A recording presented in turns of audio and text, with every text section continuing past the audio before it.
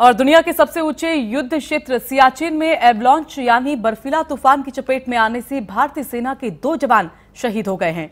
दक्षिणी सियाचिन ग्लेशियर में 18,000 फुट की ऊंचाई पर शनिवार को सेना की पेट्रोलिंग पार्टी बर्फीले तूफ़ान की चपेट में आ गई।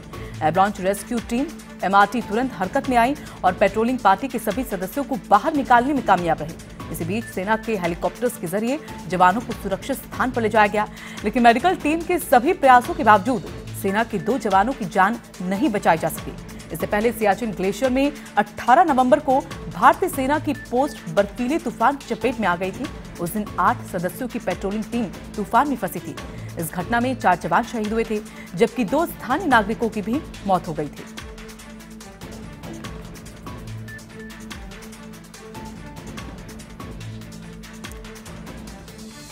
तो सियाचिन में आए हुए बर्फीले तूफ़ान के चलते दो जवान शहीद हो गए हैं, पेट्रोलिंग के लिए निकले थे, लेकिन इसी दौरान शनिवार को आए एवलॉन्च में वो फंस गए। बचाने की कोशिश की गई, लेकिन दो जवानों को बचाया ना जा सका।